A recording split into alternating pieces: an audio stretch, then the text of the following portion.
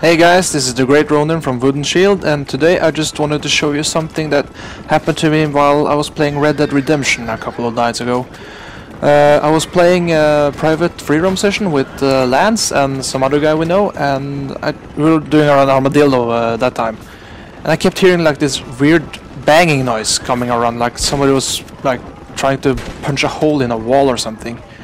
Uh, so I decided to like quit shooting Lance and uh, investigate what it was, and uh, well, you can see for yourself what I found.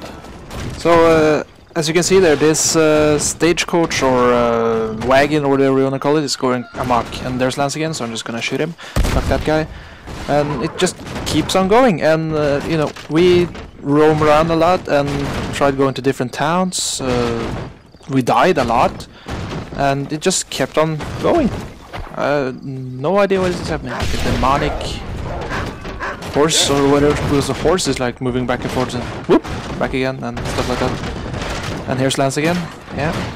Uh, so I decided to uh, try and shoot the horse, see if that helped. Uh. There you go. Um, that stopped it. So I thought it was gonna fun, and then Lance shoots me. So yeah, that's it. Thank you.